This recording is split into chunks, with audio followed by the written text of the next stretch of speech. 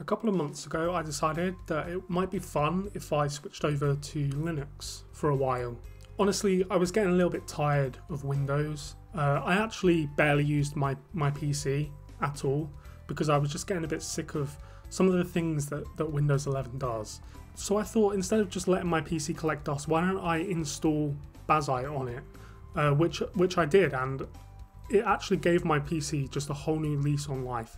And I actually loved the experience so much that I decided to build an entirely new PC, like fully AMD, with the sole purpose of using it for Bazzite, so that I can have a home console experience, but just you know using a PC and all of the cool things that that come with that. And a couple of months on, I'm I'm actually you know really happy that I did that.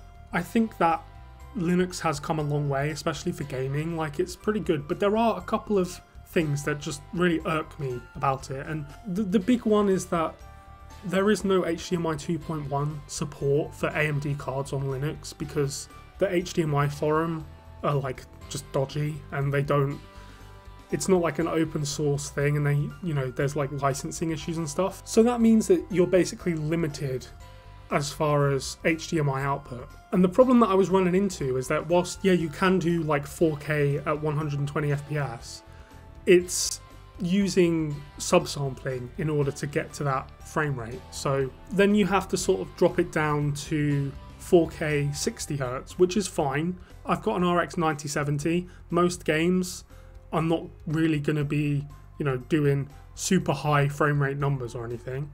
But even at 4K 60, it's still only an 8 bit output. So, yeah, we're getting 444 chroma. There's not a lot of banding, color banding, or anything like that, but it's still only 8 bit, which means that if I want to do HDR gaming, I'm basically relying on my TV's built in, like, it's called like frame rate control, and it basically sort of mimics um, HDR10.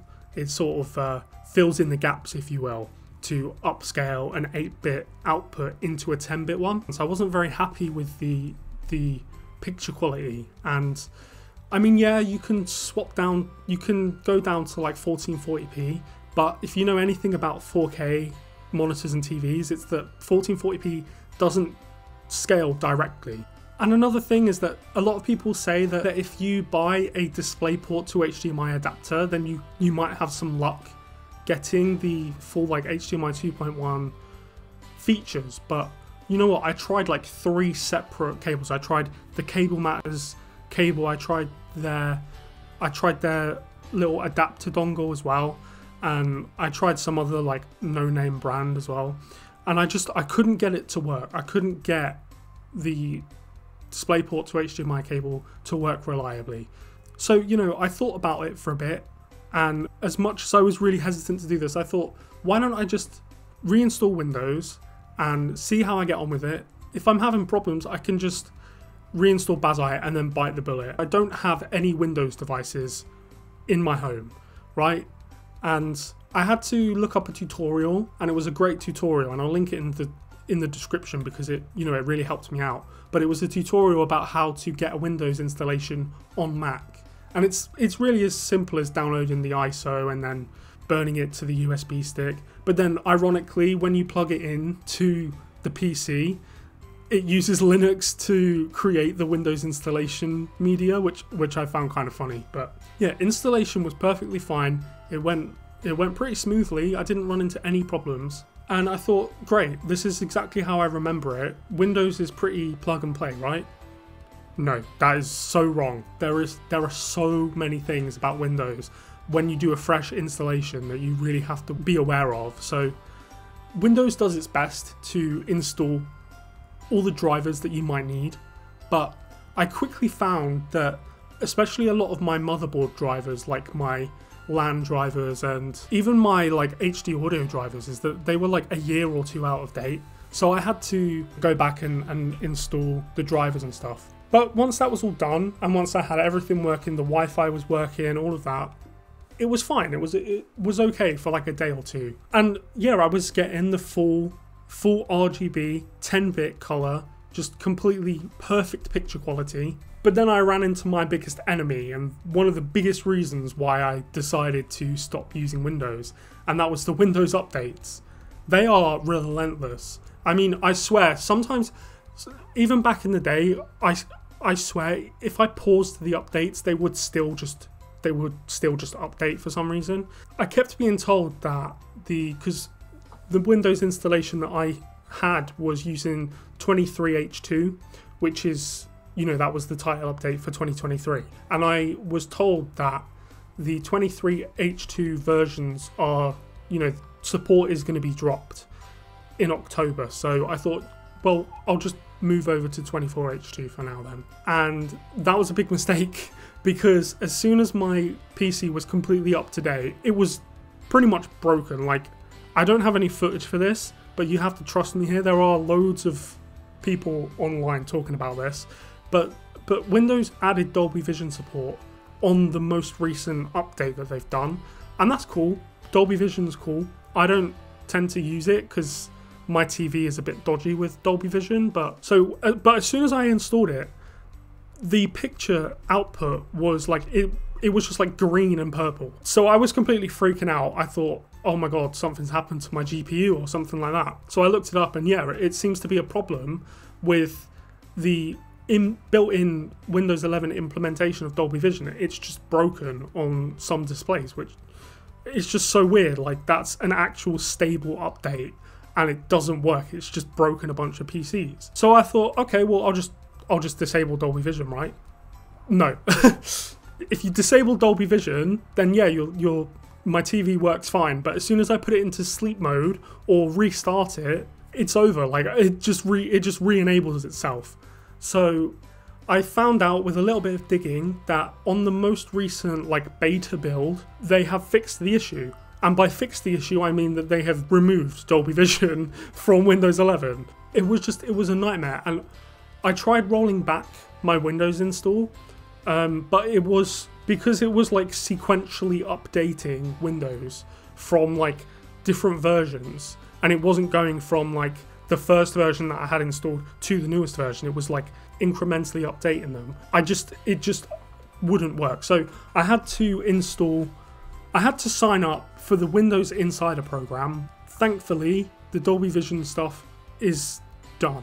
Um, it, it's no longer an issue on my TV because Dolby Vision just doesn't exist anymore until they decide to re-add it, which will probably then cause problems again. So that was just the whole issue, but you know, once I got that sorted, I was sitting there and I was like, right, well now I can actually just, you know, focus on playing games.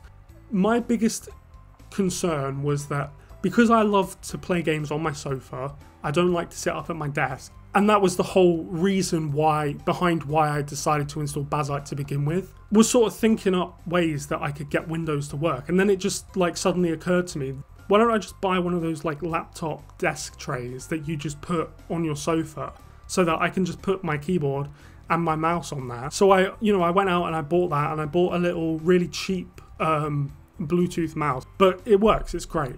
I can now use my PC on my sofa. Right, so now I have an actual like sofa setup for my PC, right? So now I can just play games. The game that I have mainly been playing for the past week is um, Spider-Man 2 because that had issues on Linux.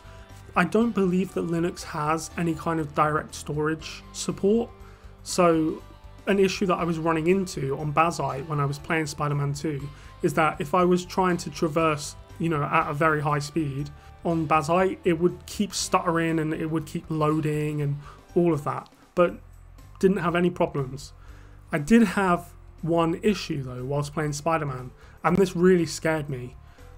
And it was that my PC would just completely crash and like it wouldn't even blue screen it would just completely lock up and i couldn't even turn it off by like holding down the power button to like turn it off. It was just completely unresponsive. So I literally just had to turn the switch off uh, on my on my power supply, which is really dangerous. You really shouldn't be doing that. But that was the only way that I could that I could sort of recover my PC, and I had to do that a couple of times. But yeah, I was really scared about you know bricking my PC.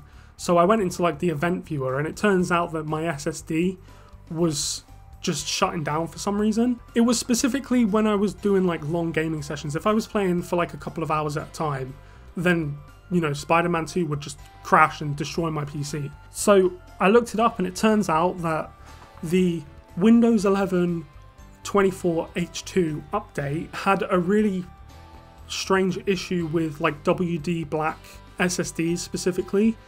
And so I just had to install a firmware update for my SSD. And that pretty much fixed it.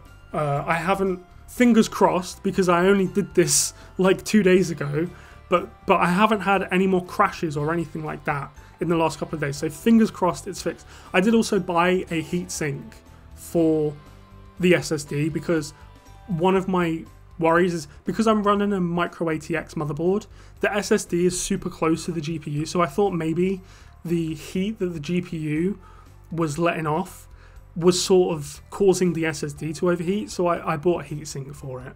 W- one of my biggest problems with Windows 11 especially like a, a, good year ago or so, was just the abundance of ads, all of the suggested apps, and the Microsoft Store implementation, and all of this just really threw me off. I hate advertising, I really do. And it just, it was such a nightmare trying to navigate Windows sometimes because it's so cluttered. But they seem to have actually like really toned down all of the advertising and stuff. Like it's still there, but you can at least disable adverts in the start menu, for example, and I don't remember being able to do that beforehand. I also upgraded my RAM because when I made my Linux gaming video a, a few weeks ago, and I just want to quickly say thanks for the support on that video. I can't believe how many views that video got. Like, I'm super, I'm super like touched by all of the support on that video and all of the new subscribers that I've got and stuff. I really can't thank you enough. But a lot of people in the comments of that video were saying that buying 16 gigs of RAM was a mistake in 2025. And yeah, there were a few people telling me that I should have got 32 gigs of RAM. But I didn't actually see much of an issue on Bazzite because the operating system itself doesn't actually use that much memory. Like it's not very power hungry compared to Windows. But one of the things that I noticed immediately on Windows 11 was that it just it eats memory. Like I'm not kidding. It uses like six gigs of RAM just on a fresh launch, just straight up. It's using six gigs of RAM, and that's just crazy to me. That that's like, you know, if I've only got 16 gigs, that gives me 10 gigs left. So that's really not enough RAM. So I went out and I went to like my local CEX and say what you will about CEX, but when it comes to like PC components, they're actually pretty decent. And I managed to get a couple of 16 gig sticks of RAM, and I made sure that they were the same brand and they're actually also the same I'm pretty sure that they are part of the same kit. I mean it makes sense if they've got two separate sticks of RAM that are the exact same make and type of RAM then they likely were sold as a kit. They're just selling them separately for some reason. So I got pretty lucky with that. I I ended up selling a game and I, I ended up only paying 19 quid for 32 gigs of RAM, which I think you know that was insane.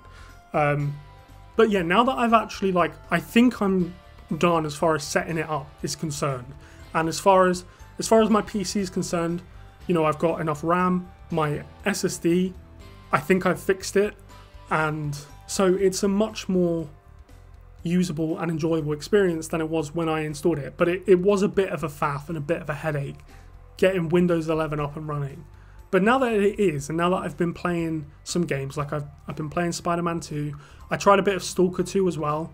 Another thing about Bazzite is that when you use like frame gen, especially with HDR on, for some reason it was causing like this awful like flickering and it was just a bit of a nightmare trying to get frame gen to work, which is basically essential for Stalker 2 because that game was unoptimized like crazy. You know, using the AMD overlay, I'm able to enable FSR4, for example, and like FSR4 looks incredible. Especially on Spider-Man 2, like it looks really, really good. Especially compared to FSR3, like it's it's it's actually crazy how good FSR4 looks.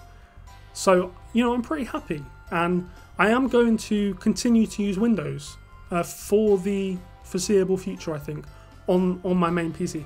I'm not done with Linux though. I do want to make that clear because I know that I've got a lot of new subscribers from my Linux videos, And I, I just want to say, like, up front, I am not done with, especially with Bazzite. I have my old PC with my old, like, it's got an RTX 3060 in it, and it's got a 12th Gen i5 as well. I want to make a video about what it's like using NVIDIA cards on Linux, for example, because it has a bit of a reputation, you know. So I want to try that out.